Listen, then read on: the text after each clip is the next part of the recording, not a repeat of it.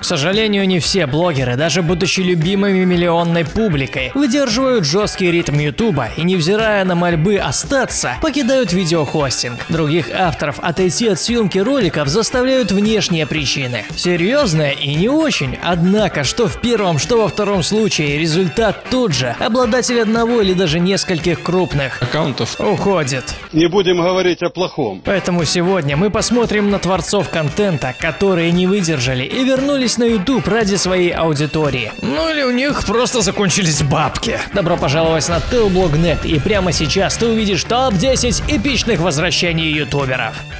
Десятое место. Баггер Такерс. У Боди была как раз уважительная причина отсутствия. Прошлым летом его канал нагло стыбзили и требовали Лавеку за разбан. Там была целая эпопея, но если вкратце, то разводила. Втерся в доверие к обладателю Ренова Вогана черного цвета 20 века и под видом якобы другого хакера вымогал 50 кусков за возвращение аккаунта. Он реально его удалит, он обезбашенный, он дебил, я его знаю. Если бы Багерок не шел у взломщика на поводу, злоумышленник бы не получил доступ к компьютеру, а блогер бы не ждал возвращения канала месяц с лишним. Обычно вопросы восстановления решаются за 2-3 недели, но Такерсу не фартануло.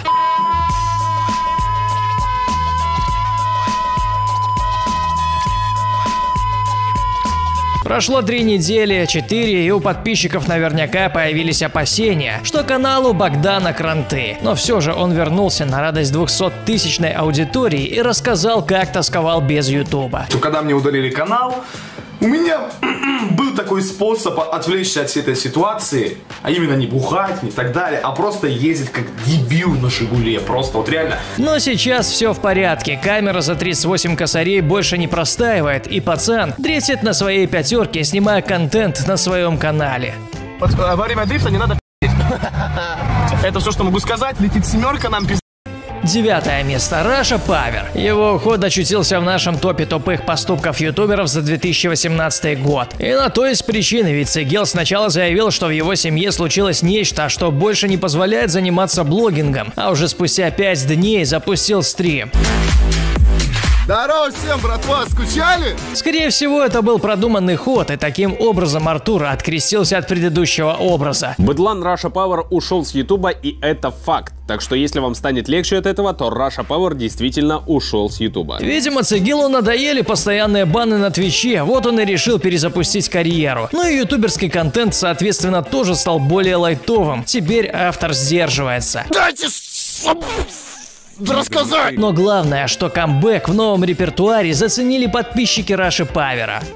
Восьмое место. Фриз. Касательно его исчезновения двухлетней давности гуляли различные теории. Одни утверждали, мол, популярный майнкрафтер крякнулся. Другие говорили, что Жеку забрали в армию. А третьи уверены, что он просто обленился и ему впадлу записывать видосы. Ушел Фриз по-английски, то есть без предупреждения, да еще и 1 января. Спасибо всем за просмотр. С вами был Фриз.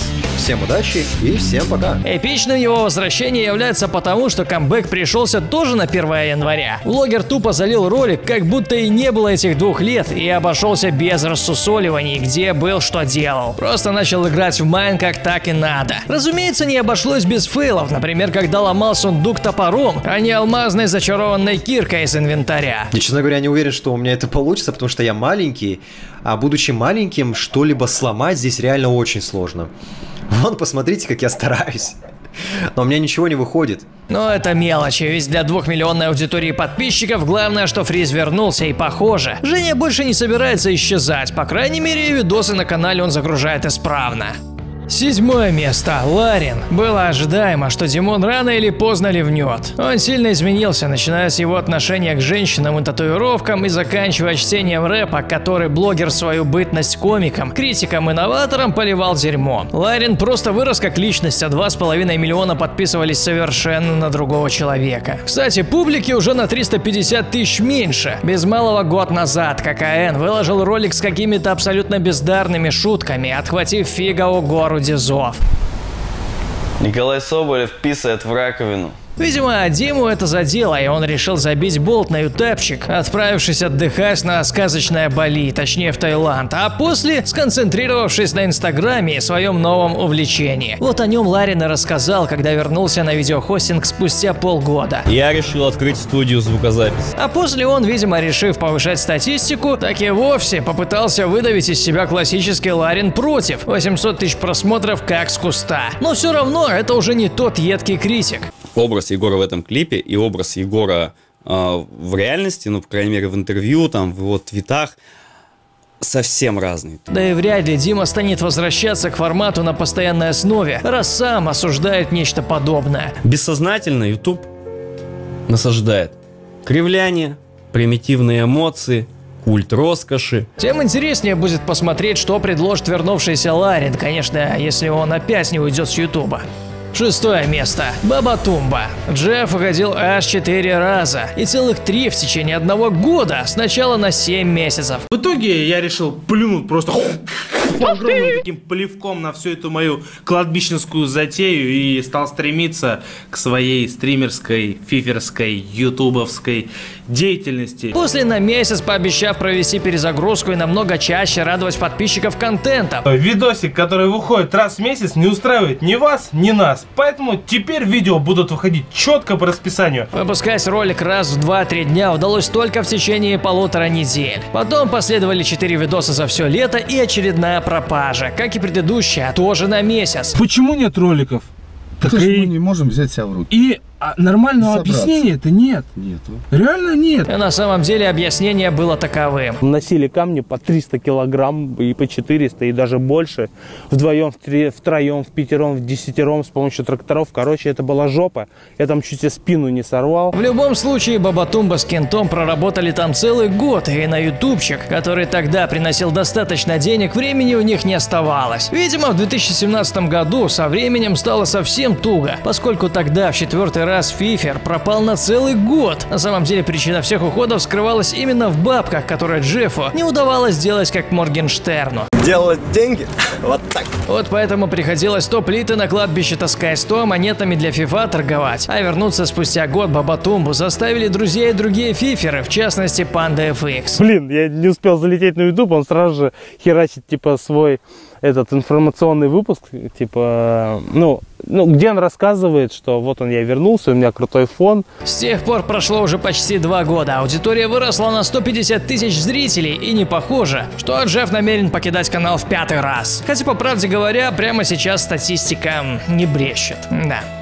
Пятое место. Давидыч. Его возвращение вышло поистине эпичным, правда с отрицательным оттенком, хотя сообщество ждало камбэка Эрика очень сильно, ведь многие считали, что три года, проведенные им в СИЗО, это беспредел чистой воды, и выйдя на свободу, а заодно вернувшись на YouTube, Давидыч примется рубить правду матку. Но получилось что-то не то. 2014. Я борюсь с коррупцией и буду бороться, пока бьется мое сердце. 2019. Давидыч для дам. Новые непонятные проекты Базар Вокзал обо всем и ни о чем, когда народ ждал нечто революционное. Тут я даже стану на сторону Эрика, ведь сегодня он рот раскроет, а завтра на зоне будет. Тимати тоже тот еще красавчик. Он сначала там слышь, ты кто такой, давай до свидания историю запустил, а потом я смотрю, они с Киркоровым песню поют. Однако, что было потом? Да уж, возвращение такого Давидыча не ожидал никто. Сначала тип собрался учить блогеров ему разуму, хотя перед этим сделал такой розыгрыш своего бумера, что выиграть его мог лишь клиент Тинькова. Вменяемых, невменяемых, хочу их собрать и пообщаться вообще с ними. Сказать, ребят, вы что, ну-ка собрались. А спустя пару месяцев Пажист Качу наехал на Гордея за пародию на свой X5. Реально хочется перевернуть сейчас, сжечь тут посмеяться. Понимаешь, вот это будет пранк от Давидовича. Это уже не говоря о тех телегах, которые автоблогер задвигал на интервью у Дудя. Хотя попытки выполнить 1200 приседаний грех не вспомнить. Эти, извиняюсь, приседания были больше похожи на поклоны или попытки пьяного деда сесть на унитаз. Как можно было столько накосячить всего за полгода? И не скажешь ведь, что у человека в голове ничего нет, раз он не поддался на провокацию, чтобы снова не отправиться проперживать шкана. Быть может, все эти эпик-фейлы после камбэка спланированная акция, чтобы возродить интерес к персоне Эрика. Как считаешь? Четвертое место. Моргенштерн. У Ананаса, как и у Бабатумба, было несколько уходов и возвращений. Сначала он заявил, что якобы является проектом и ливает с Ютуба. Моргенштерн – это наш с Алишером проект. Потом вернулся под предлогом, что Ананаса, как и Пальмы, как и Моргенштерна блогера, больше нет. Ну типа сменил образ как Цигил. Но вы же помните, чтобы чему-то научить, порой нужно поиграться с чувствами. Спустя пару месяцев уже намеревался вернуться как ютубер. От себя хочу сказать, что в новом 2019 году буду радовать вас еще больше. Через месяц опять решил удалить канал. А через месяц опять заявил, что ему положить на этот видеохостинг. Деятельность на ютубе больше не приносит мне никакого удовольствия. В общем, целая эпопея, и у Алишера есть чем объяснить такое поведение. Все это я получил, что я занимаюсь вообще какой-то детской херней. Полноценным выдалось возвращение после Goodbye тура, ведь прошлым летом, спустя без малого год мысленных терзаний, Моргенштерн наконец принялся пилить контент. Эта рампа уже прекраснее всех, которые когда-либо стояли в Уфе. Это я вам точно говорю. Клипов стало больше, видосов тоже, уже, кстати, 20 штук за полгода. По-моему, нормальное возвращение, Алишер снова в деле.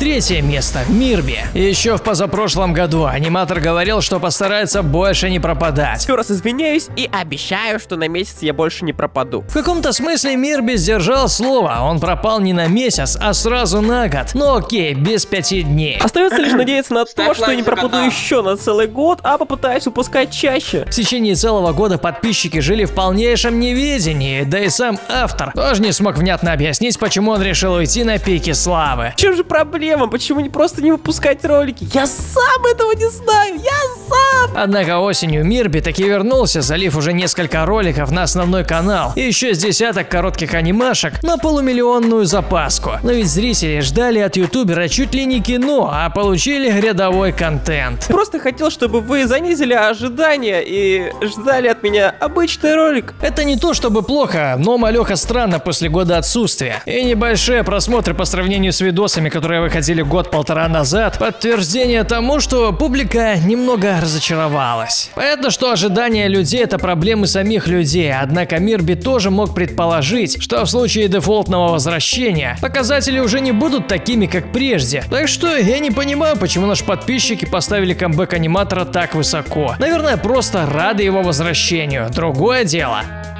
Второе место – Мамикс. Многие люди не поймут, куда я пропал, на то время, пока я не буду выкладывать видеоролики 2.0. Поэтому, чтобы не пропустить ничего интересного, подписывайтесь на канал Everyday. И действительно, кто-то даже успел назвать Максима новым Ивангаем, предположив, что он тупо решил уйти, попутно скрыв все видосы. Да, экспериментатор пропал не на полтора месяца, как обещал изначально, а на два с половиной. Но на ютубера и его команду не напал преступление, они наоборот пыхтели еще сильнее, когда взялись за контент совершенно другого уровня. Триумфальное возвращение состоялось 31 декабря, можно сказать подарок подписчикам под елку. Продакшн изменился кардинально. Тут не просто появился сценарий с сюжетными поворотами, и диалогами, но и картинка стала по-настоящему киношной. 40 дней работы над роликом как-никак. Пока что все получается очень здорово, поэтому я думаю, задумка, которая планировалась, она получится. То есть снимать, ну, можно сказать, как бы короткометражный фильм, если это так можно назвать. Миллион лайков – лучшее подтверждение, что подписчикам зашло. Другой вопрос, а следует ли париться настолько, ведь то, что Мамик сделал раньше, никак не назовешь халтурой. А ради фанатов и школы снимать фильм, пускай и в мини-формате, ну не знаю. Мне лично кажется это чересчур. Во-первых, сложно, во-вторых, избыточно. Ты как считаешь? Sleigh, dashing through the snow. И первое место – Ивангай. Молва о том, что господин Рудской снизойдет с небес, с Америки, ну или где он там кантовался все это время, прошла по миру еще прошлой осенью, когда блогер сам принялся писать комменты под видосами других ютуберов. А вчера канал Ивангай ожил, и от его имени начали появляться комментарии под разными видео на ютубе. Вот коммент под видео на канале Романа Фельченкова. Совсем жарко стало, когда Кашин то ли пошутил, то ли намекнул, что взял интервью у Ивангая. Короче, стало ясно, что Ваня не собирается бить рекорды по отсутствию на Ютубе. На сей раз он действительно пропал только на год. Рудской, как и Мамикс, прямиком под новогоднюю елку вывалил контентик. Только в отличие от того же Максима, контент совершенно другого плана. Три трека в рамках одного EP.